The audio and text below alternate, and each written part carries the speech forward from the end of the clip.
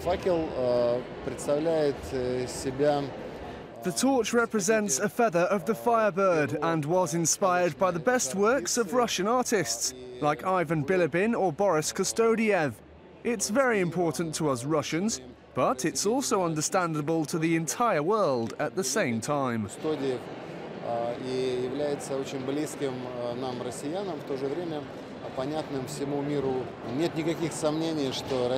There is no doubt that Russia is a great country capable of fulfilling all the obligations we adopted in 2007 in Guatemala, when the International Olympic Committee gave the historic right to conduct the Winter Games to our country.